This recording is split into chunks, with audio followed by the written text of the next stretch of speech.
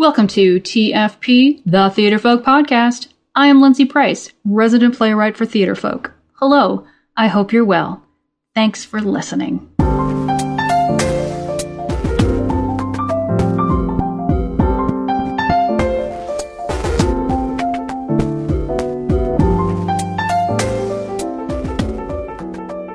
I'm talking with Aviva Woman winner of Teen Tour Theater. Now, Aviva is one of our oldest customers. She's been using Theatrefolk Plays for close to 10 years. And uh, she started Teen Tour Theater because she wanted to think of a way to really push and challenge her acting students. And one of those ways was providing an opportunity to get her kids to perform for audiences other than loved ones, which I think is a pretty unique thing for teens and preteens to do. So if you are a teacher and you are doing a touring show currently with your students, or you're thinking about touring a show, take a seat, have a listen. There's lots of great information here, including the top three things a teacher needs to think about when doing a tour. So let's get to the interview. Hello, everybody. I am here today. I'm very happy to be talking to a longtime Theatrefolk customer, Aviva Wolman-Wener. Hello, Aviva. Hi. How are I'm you? Okay, how are you? I'm awesome. I'm looking out my window at some more snow. I'm sure you have lots of snow where you are in Montreal. Like and uh, Aviva, you run Teen Tour Theater, yeah? So we know you because very generous with uh, of uh, we seem to. How many years have you been using Theatrefolk Oh, Plays? It's it's been a while. Maybe like eight or nine, maybe more. Yeah, no, I, I don't know. It's like, it's just been one of those things that every year we see that, that order come through for you and for Teen Tour. So let's start off with what that is. What is Teen Tour Uh, Teen Tour Theater is a theater school slash tour group that I started 11 years ago. I began it because I was teaching at another local school here. I had been teaching for 10 years at another school in Montreal and was trying to think of a way to challenge some of my students who were, who had been with me forever. I had kids who were in their late teens and had started with me when they were nine and 10 and even younger. And I wanted to think of a way to push them further, especially the ones who wanted to take acting much further. And so I created two concepts at this other theater school. One was touring so that they were performing for people other than their loved ones, which was a very different experience. And trying to create a workshop program for kids who wanted to take it further than just doing theater for the obvious reasons that we think theater is phenomenal, like self-confidence and learning how to handle yourself in a, any kind of interview situation and learning how to speak in front of people and all of those other things. This was for the kids who were really, really focused on taking theater to the next level in their life. And so I did that for a year there. I was really happy with how it went and then decided to launch it as a program that was unique to everything else. And that's how it became uh, Teen Tour. So basically the concept of the school is that the older students, and when I first began, we had only teenagers and I only had two classes. And basically those groups, we had our junior tour group and our senior tour group, which are the ones you've heard of because those are the ones mostly that I've used the plays for. Although last year Right. we used school days in my younger group, which is not a tour show. That's just younger group uh, doing training. I started that the first year. Only the seniors toured. I think I had eight or, or ten students in the class. The tour basically is a show that the kids work on. Now we do high schools as well. Then it was just elementary school material that they rehearse this show. The seniors are the most advanced group in the school. So they've already gone through all the lessons that we've that I've given them from the beginning. And most of them had started with me when they were quite young at that point. And so this was just, just a show. And we went into the rehearsal process and sometimes I would bring in other professionals from the industry here in Montreal to work with them on different things, puppetry, uh, movement, uh, mime, whatever we were using in the show that year. And then we went out and we performed at local libraries, elementary schools, even the Saturday morning program for children that runs in the lobby of one of our theaters here in Montreal, which is the Centaur. And so it began from there and then grew. Then we had the junior tour group, which does less performances and has the first part of the year, they don't touch their play. It's all about learning the skills until January. And then as the years went on, I started getting phone calls from people asking if I would do classes for younger children. And that grew. So now we have classes for seven year olds right up to young 20 something. And we have our workshop program, which I started as well that first year, which we started with one workshop a year and now we are up to, oh, roughly seven or eight for the 14 to 30 year old group. And usually we do four for the eight to uh, 13 year old group. And those are co-taught by me or not even taught by me, although I'm always there. We bring in professionals from the field in Montreal. So for example, we just had, we just finished one with Simon Peacock, who is a director for voice for video games, which is a huge industry here. Oh wow. And so we just went to, uh, Harmony Studios and Simon came in and worked with 12 of my students ranging in age from 14 to 27 on how to work in the studio on voice for video games. Uh, a month before that, we had one with Terence Scammell, who does voice for animation, and we went into the studios and did dubbing and taught them how to use the Rhythmo band. So we go really far with the ones who are interested in that. But that's not the only focus of the school. The school really is about learning those skills, voice, movement, comportment, uh, how to approach a scene, how to approach character, how to approach monologues, things like that. That was a mouthful I just gave. Ah, that's okay. So let's talk about the teens and the touring aspect. Why do you think it's important to have teens perform before, you know, for people who maybe aren't their loved ones and to have this process of taking a show on the road? There's a few reasons. First and foremost, it's an amazing thing to perform for your family and your friends because they love you. But it's an even better thing sometimes that those parents, the family and friends still come. They sit at the back. But it's an amazing thing to be able to perform for and basically control, you know, get a reaction from your audience of people that don't know you. So they're not coming in and they don't automatically think you're wonderful because they love you. They actually think you're wonderful because of what you're, the story that you're telling them on stage. And that's the primary reason why I started with the tour. How many shows do uh, the teens usually do? Depends on the group. It depends on the year. This coming year, we're not doing as many because I have a very, very busy group of seniors. Um, most of the students who workshops go right up into the 20s, but for the most part, the junior tour and the senior tour, they range in age from about 13 years old to 22. So most of them are either in high school, uh, CEGEP, which you don't have in Ontario, which is kind of a college, two-year college program before you go to university that's mandatory here, or university itself. And so those students are super busy. They have crazy schedules. So some years we manage to do it and we can get as many as 10 shows. Doesn't happen very often. Usually we go somewhere between four and seven. This year we're doing four, possibly five for the seniors and the juniors have just started arranging their schedule. So I don't know how many they're going to do,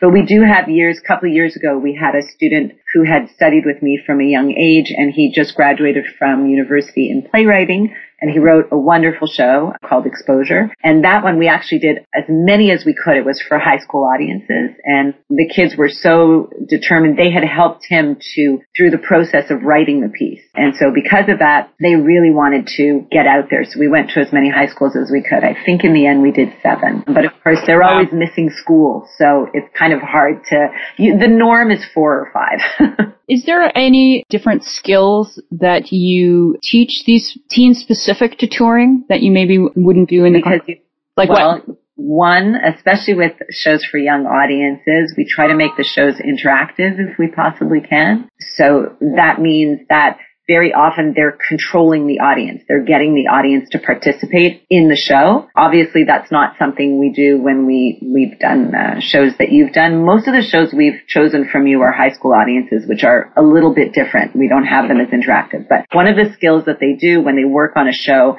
that is aimed at young audiences is to ask the audience to participate, ask them questions, to control them, to be able to get them in and out of the story is an amazing skill. At the same time, it's also a touring show, so they have to change the way they stage the show each and every time, depending on the school or library or theater that they're in, because no two stages look exactly the same. In fact, sometimes we'll go to locations that don't even have a stage and they'll have to adapt the show to be able to work so that the audience can see everybody all the time and that they don't miss out on anything. Those are some pretty amazing, just like well, I know that uh, well rounding skills, you know, like how do you adapt to a situation? How do you think on your feet to take your product and still make it the best that it can be regardless of where you are and what's happening around exactly. you? Exactly. And I mean, even if you want to really go into skills, it also teaches you how to behave, never mind all the acting and theater stuff. But, you know, there's a certain, we have a big discussion before we go in about how you behave in the halls of a school, how you talk to the teachers and the students that pass you when you're going off,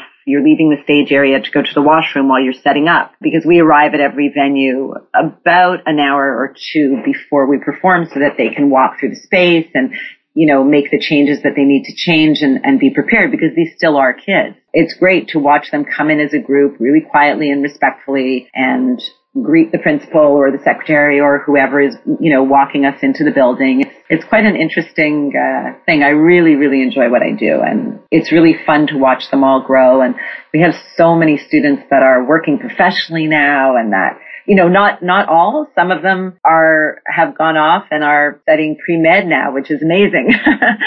Hopefully they're using that skills in that way. Those students stay in touch less often than the ones who are still really in this. We, we have, I have two students who started with me when I just, just opened Teen Tour, but had also been with me at that other theater school when they were very, very young. One of them just came back from being at the neighborhood playhouse in New York for a year, and another one just graduated with his master's from the University of Ohio, and they both are studying Meisner technique, and um, they've now come back and run workshops for my younger students. So it's amazing the skills that these kids and the excitement that they have about what we do. And then they come back to share it with the school later, what they've learned from other people who, you know, are, know things that I don't know. It's, it's really, really a great, a great thing. And the kids keep in touch with each other over the years and it's really nice.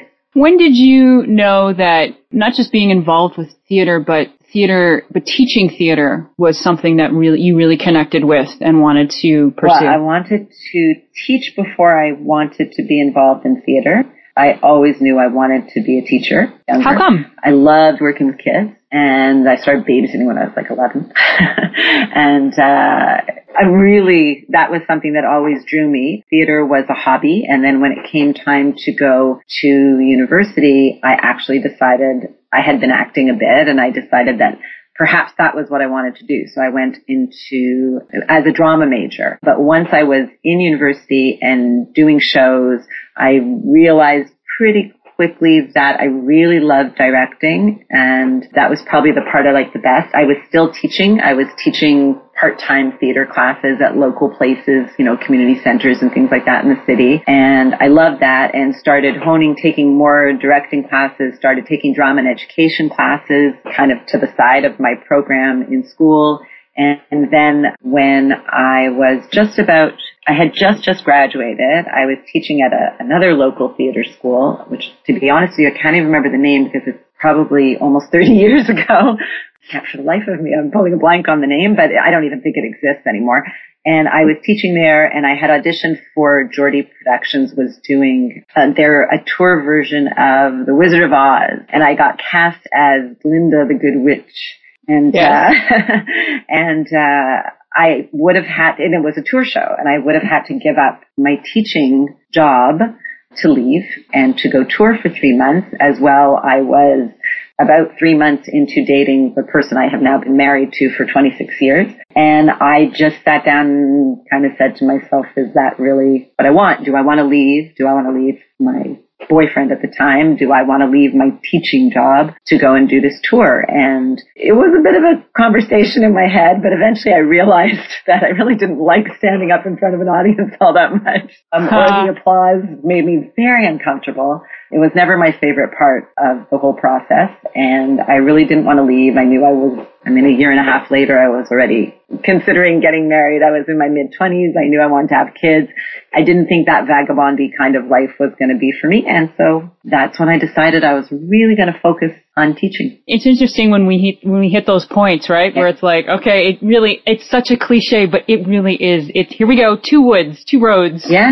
Which one are we going to go down? Yeah, it really, um, really is. And it, it, it's a vivid memory for me. And actually, the daughter of the woman who cast me in that show, her name is Alison Darcy, and she is an amazing, I don't know if you've ever come to Montreal, but she's the, um, one of the heads of Scapegoat Carnival, which is a production company here in Montreal that does a lot of classic theater. They just did Othello at one of our larger theaters. They did Medea last year. They did the Bacchae and she is an amazing, amazing actress, director, producer, and she does workshops for me sometimes here. And her mother is Elsa Bolam, who many, many years ago oh, yeah. ran. Okay, so Elsa is the person who cast me in that show. And Alison is the daughter of Maurice Podbrey, who started the Centaur Theater, and Elsa Bolam, who started Geordie Theater. And Alison was ill one night when she was supposed to teach a workshop, and her mom came in and replaced her. And it was really funny to say, do you know that you are, you were my crossroads? she said, this is amazing, you know, how, how far you've come, all the things you've done. It's great what you're doing with the kids. And I said, you know, it was like, it was kind of because of you that I took that, that I took that path. So it's very funny how it all comes full circle. Yeah, it always does. It always does. Why do you think, why is it important that youth and teens participate in theater, regardless of whether they're going to go off and have a great theater life or they're going to go do pre-med? Like why, why is it important? The skills that you can get from having to one, get up in front of other people, but also, and more importantly, the prep that you do before you get up in front of other people. It's, you know, we call it, it's like a team sport you really have to be able to work with others. There's so many components to putting a piece on and it's, it's so great for kids to come out of themselves, whether they take a leadership role or a sideline role. And I, I don't mean a role on stage. I mean a role in the process to go through the process together with other people and figuring out what works for you and what, what doesn't on a personal thing. You know, I've been teaching for a lot of years. I have two kids. I have a 23 year old daughter and an 18 year old son.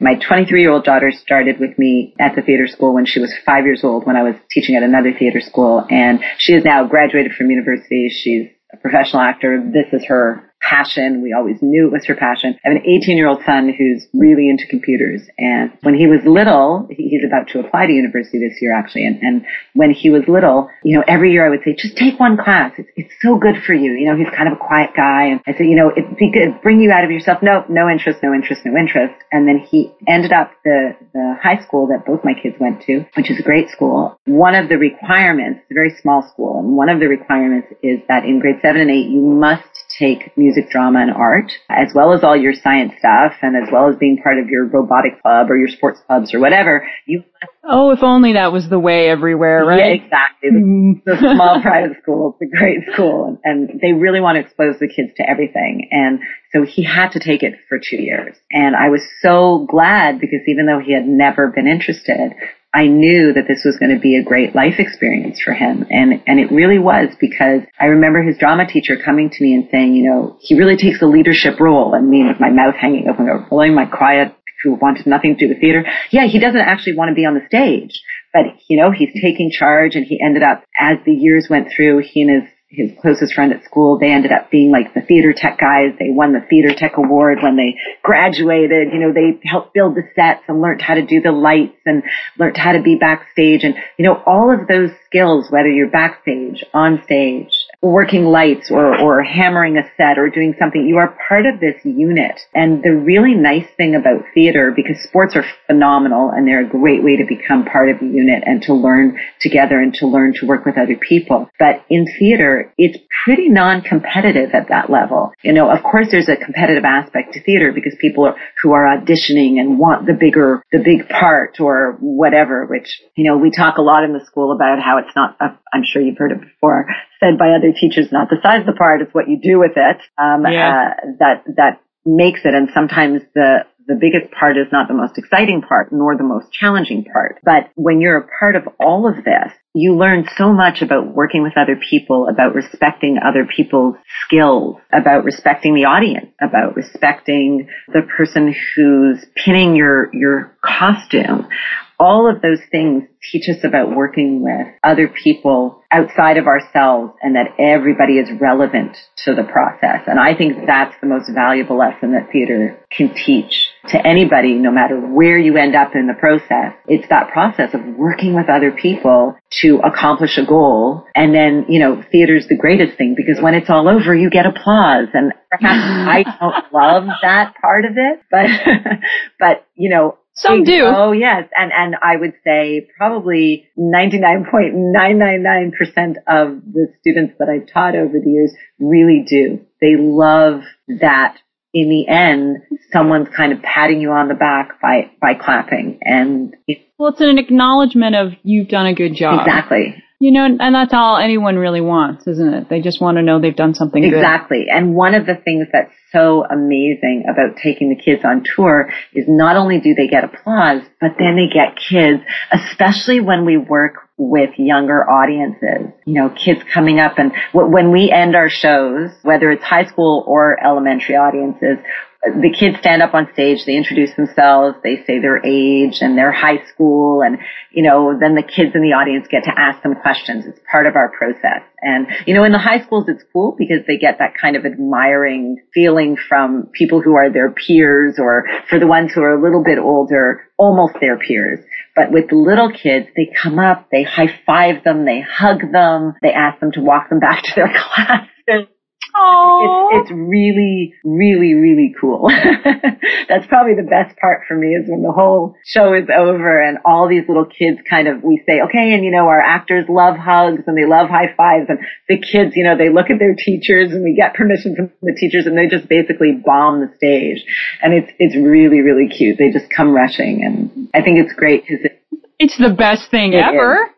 Actually, at the same time, I'm going to throw something else in that you made me think of. One of the greatest things I find, and I think that the kids even comment on, is that it's a place, at least my theater school, is a place for the kids to come in and leave all the garbage that happens in high school, especially behind and all the stress of the day and all the stress about exams or fighting with a teacher or fighting with a friend or all of those things, they come in and for a few hours, we just have fun and we go at it and we hang out and we, you know, we're, we're working on stuff, but it's, they're laughing a lot. They're being silly a lot. You know, it's still extracurricular. And for me, except maybe senior tour where we're much, much more focused because they've already gone through that whole process for years with the school. They're really coming in and we spend three hours and we just rehearse, rehearse, rehearse. We have a great time and that's why they're there. But those are the kids who are the most passionate about this. And, you know, they're there because they want to do this show and be a part of it. But for the younger groups, it's so nice to have them come in and smile and have parents afterwards come out and go, you know,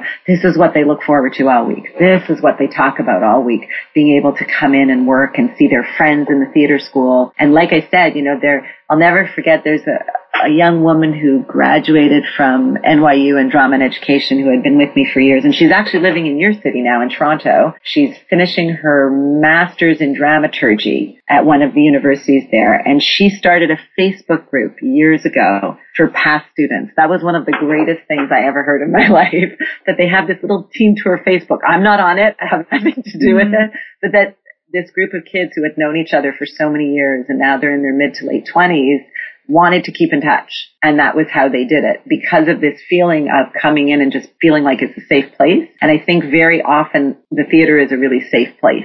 Well, what a great thing that if like if a student is not having a good time at their school yeah. that there's a place where they can go and actually just be themselves and not have to worry about all that extra well baggage like exactly. you said and how would a you know just it's a testament to the community that's being created you know where if they if they want to keep in touch that means that they've made a connection yeah, exactly which what better thing can you teach a can you teach a student than to find a community and maintain a community exactly it's great they come back i mean like i said the senior workshop program which is that added program is for students who are um, 14 14 right up to whatever. The eldest we've ever had is someone who was 30, which was kind of funny. I was, we were joking around. We needed to change the name of school, but because it's called Teen Tour Theater. But you know, it's really nice because every time we have one of these workshops, people come in who haven't seen each other in months or sometimes even years if they're coming back to the city and they're just signing up for this one workshop. And they're all so good to each other and they're all so happy to see each other, even if there's a 10 year age difference between them.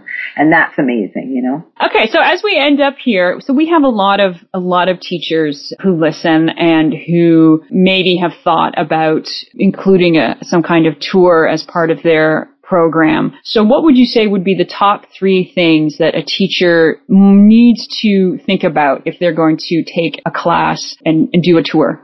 First and foremost is a commitment from your students. If you're going to do a tour group, you really have to have students and parents who are behind you. Because what can happen is, you know, you plan your tour way in advance because you have to get in touch with the schools, you have to, and our touring philosophy is we don't charge for our tours. It, we feel it's uh, there are schools that do, and I understand why. But for us, we feel we're doing a service for the community, but they're also doing a service for us by allowing our students to perform as if they were professionals. So the schools we go to, the libraries we go to, they normally bring in professional actors, and we're a student group. And so that those audiences expect the same level of performance from us they don't come in, you know, saying, oh, these are kids, so it's not going to be as slick or as professional or as ready. So right. I would, I would definitely suggest making sure that one, your kids are really committed and that the parents understand the commitment, which really means that very often they have to miss an afternoon of school or a day of school when they're touring. The way I work is we never have extra rehearsals. We might extend an extra half an hour once in a while, but our rehearsals are really once a week. And so that means the students have to be committed to doing the work at home because we can't have extra rehearsals. So they have to be prepared to, you know, I have students who are going on break now, but they've got it planned. They're Skyping once a week to make sure they don't lose their lines because when we come back, we've got four rehearsals left and then they're on tour in February. So that would be the first thing. The second thing would be to make sure that the locations you're going to respect the fact that you're coming in and appreciate the fact that you're coming in, that they're timely, that, you know, they talk to their students about how to behave in the theater, which I think is one of the greatest things that tour can give is not just exposing kids who aren't in a drama program to theater, but exposing kids to how you behave in a theater. You don't bring in your food. It's not time to have a snack. We don't talk to our friends while the show is going on. You know, those kinds of things. Yeah. Um, as well, you know, to choose material and it's obviously I'm going to talk about you now, but to choose material. oh, it's like I planned it. no, uh, you have to choose material that your audience can relate to. So, for example, this year we're doing Body Body, which you wrote, with our senior girls, uh, senior tour, which happens to be a group of girls. And this was something we sat down. Like I said, very often we do shows for young audiences. So when we've used your shows for the most part, I'm talking really young audiences, the three to 10 year old group. So when I've used yours, it's usually years where the kids want a new challenge, a different kind of challenge because we want to do something for a high school audience. And so this particular show, we wanted to do something really unique. So we're actually only performing for audiences of girls. Uh, you, oh, wow. Yeah, we will be doing one show probably, I'm still waiting to confirm this one, at a local library. And that one will be open to anybody, but we're highly suggesting teenage girls and their moms or yeah and just so that people know body body is a play about uh, the main character is a girl and it's about self-image and body awareness so yeah uh, what an interesting thing to do to just really not only ha- that the, the play is focused on that, but that the audience is focused exactly. on Exactly. And so that for the first time, instead of calling principals and vice principals and whatever, I called the guidance counselors at the schools when I was arranging the show because I wanted to make sure the guidance counselors would be there. They would be prepared to ask questions after just in case there are girls in the audience who are currently going through, I mean, they're all probably going through body issues at the moment, but very serious issues because it does have a bulimic uh, character in the show. And so, you know, the first thing that's going to come to the kids' minds are is anorexia, bulimia, which are huge issues in the schools right now. You know, that's that's a, a different kind of challenge for us doing something that serious. In the past, even when we've used your shows in the high schools, they're usually comedies, right? This phone will explode at the tone and yeah. and wait, wait, bobate. You know, those are those are funny plays, even though they deal with some issues that you could talk about after, this is really issue based.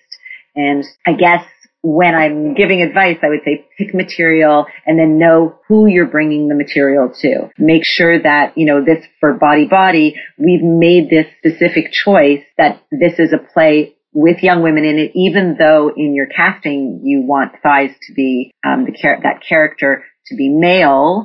We're using a female because this is an all female show for an all female audience. I think it really it makes what knowing your your sort of your vision and your your thesis for for what's happening. It, it only makes sense that it's yeah exactly. So it's it's the same thing with picking material. I mean, last year we used we actually used one of your shows for one of my younger classes, which was my grade five to seven group. We used school days, which is hilarious and, and so relatable for that age group. And that wasn't a tour show. They just did that for their parents because they, they were younger. That was my 10 to 12 year old students. But what's great about material like that, and again, here's great advice for other drama teachers is it's an ensemble piece and pretty much everybody's on stage all the time, doing stuff all the time, whether they're speaking or they're not. And that's something that's really a priority for me. It's very, very rare that we choose material in the school, whether it's a tour show or for the younger students that have one lead or two lead roles and then a lot of little roles on the side. We don't do that a lot because I want to challenge each student, one at the level that they're ready for, but two, I hate the idea of people sitting around waiting. Yes, it's a great experience when you audition for your school play and, you know, you get a smaller role the first year and that role is amazing and it's a great challenge, but you're spending a lot of time backstage. And here, this is a, a very unique program that we have very, very small classes. I never have more than 12 students in a class, which means there's never more than 12 in a show. And usually the touring groups are really, really small. There's five students in Body Body. We're doing another show with our juniors this year. Excuse me, uh, that's not one of yours, but for young audiences, that is, there are eight students in that play. Even though there were 14 students in the class at the beginning of the year, I only, you had to sign up to tour to do the second part of the year. You have to be committed to the tour. So there's only eight students in that class. And so I want those eight students to be constantly working and constantly doing stuff. I don't want them to be sitting on the sidelines waiting for their turn. And so I really recommend that to other teachers trying to find as much ensemble work as you can. It doesn't mean it's not a great experience to do those other kinds of shows, but it, it's for us, it's a focus trying to find ensemble work, trying to find pieces that allow everybody to be up there working. And like I said, it doesn't mean that everybody has the same amount of lines. It just means that everybody has a really good challenge on stage. That's awesome. Thank you so much for, for taking time out of your day and talking to me. And I want to know how this tour goes out. Please keep in touch with, uh, how it works with uh, Body Body, and particularly what kind of feedback you get from your from your audiences. Absolutely, I will. We'll send you a picture. Yes, please. Awesome. Thank Thanks, you so much. Lindsay. Thank you, Aviva. I love how she talks about being in the theater is like being in a in a unit and how much theater helps you to work as a group, to work with other people and to respect the work that each person has to do to make a play happen. I just think that's what I like about theater. I've always loved the ensemble nature of it. It's always been my favorite part. Okay, before we go, let's do some Theatrefolk news. It's a play feature, it's a play feature, it's time to feature a play.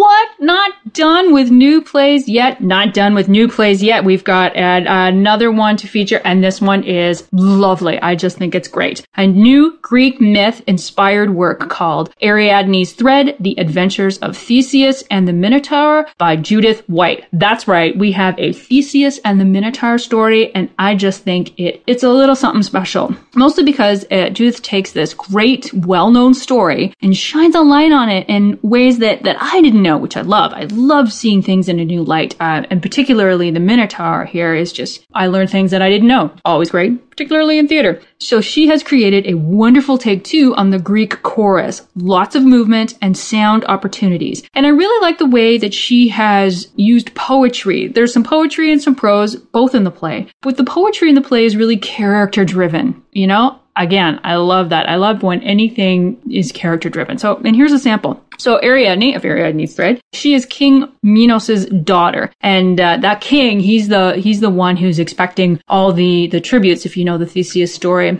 is that uh, there's a minotaur that has to be fed these human tributes, and uh, one year uh, Theseus decides he's going to go and deal with the minotaur. So Ariadne, who is uh, King Minos's daughter, so she's supposed to be some kind of oracle, and and it's it's pretty awesome. She's sort of a failed oracle because things just aren't working out for her. The same dream over and over. I'm holding the end of a spool of thread, the one Daedalus gave, and tangled up at the other end is this boy I've never seen. What can it mean? I have no clue. How can I be an oracle if I can't even fathom my own dream? Fine priestess I am. When I breathe in the laurel smoke, I don't see visions, I just throw up. My spells at Aphrodite's art altar fall flat. The sacred snake curls up and goes to sleep. My dances fail to charm. I can't get a single prayer to rise. I'm stuck. Oh, it's the family bad luck. My duty seems my doom. The tributes will be arriving soon and send them to the fearsome one below. I have never felt so afraid and so alone.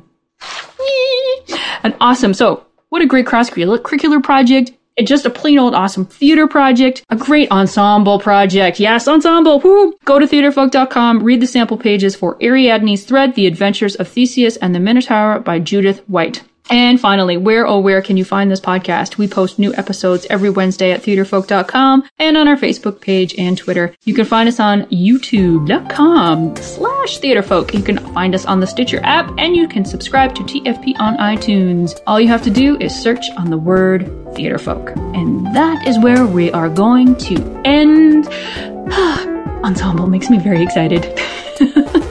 Take care, my friends. Take care.